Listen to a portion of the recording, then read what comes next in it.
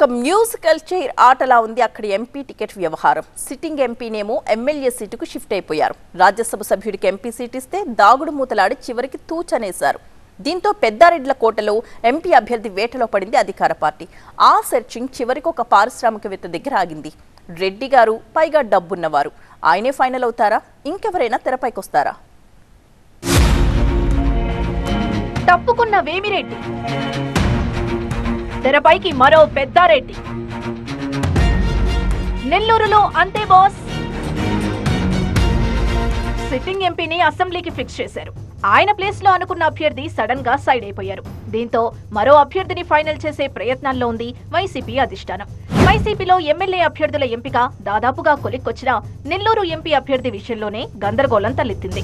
Party అభ్యర్థిగా నిర్ణయించిన రాజ్యసభ సభ్యుడు వేమిరెడ్డి ప్రభాకర్ రెడ్డి చివరి నిమిషంలో మనసు మార్చుకున్నారు. నెల్లూరు సిటీ ఇన్ఛార్జ్ ఎంపిక విషయంలో తనకు సమాచారం లేదన్న కారణంతో అధిష్టానంపై అలక వహించి పోటీకి దూరమయ్యారు. పార్లమెంట్ నియోజకవర్గ పరిధిలోని అభ్యర్థుల ఎంపికలో మొదట కూడా కొన్ని అభ్యంతరాలు వ్యక్తం చేశారు వేమిరెడ్డి. అయితే అధినేత వైఎస్ జగన్మోహన్ రెడ్డి పిలిచి మాట్లాడడంతో పోటీకి సిద్ధమయ్యారు. అయితే నెల్లూరు సిటీ ఇన్ఛార్జ్ వ్యవహారంతో మ్యాటర్ మొదటికొచ్చింది. నర్సరావుపేట ఎంపీ అభ్యర్థిగా వెళ్ళిన అనిల్ కుమార్ యాదవ్ స్థానంలో నెల్లూరు సిటీ బాధ్యతల్ని ఖలీల్కి అప్పగించింది అధిష్టానం. ఎంపీ సీటు పరిధిలో నెల్లూరు సిటీ కీలకం. సిటీ ఇన్ఛార్జ్ విషయంలో తనను సంప్రదించలేదన్న కారణంతో పోటీ నుంచి తప్పుకున్నట్లు ప్రకటించారు వేమిరెడ్డి. అధిష్టానం సర్ది చెప్పే ప్రయత్నం చేసినా ఆయన వెనక్కి తగ్గలేదు.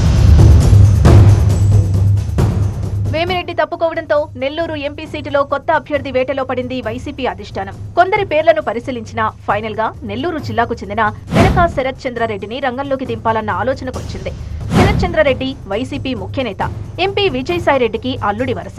శరత్ చంద్రారెడ్డి అరబిందో ఫార్మా వ్యవస్థాపకులు రాంప్రసాద్ రెడ్డి కుమారుడు.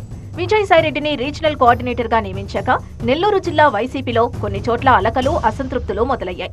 వేమిరెడ్డి రచ్చతో ఎంపీ అభ్యర్థి బాధ్యతను ఆయనే భుజాన వేసుకుని శరత్ చంద్రారెడ్డిని తెరపైకి తెచ్చారనే చర్చ జరుగుతోంది. మరికొందరు పేర్లు కూడా పరిశీలనలో ఉన్న శరత్ చంద్రారెడ్డి పేరే బలంగా వినిపిస్తోంది. శరత్ చంద్రారెడ్డిది నెల్లూరు జిల్లా కొడవలూరు మండలం పెయ్యలపాలెం. ఆర్థికంగా బలమైన వ్యక్తి కావడంతో ఆయన్నే ఎంపీ అభ్యర్థిగా నిలబెట్టాలన్న నిర్ణయానికి వచ్చిందట వైసీపీ అధిష్టానం. ఇదే ఫైనలా? నెల్లూరు రాజకీయాల్లో ఏదైనా జరగచ్చా?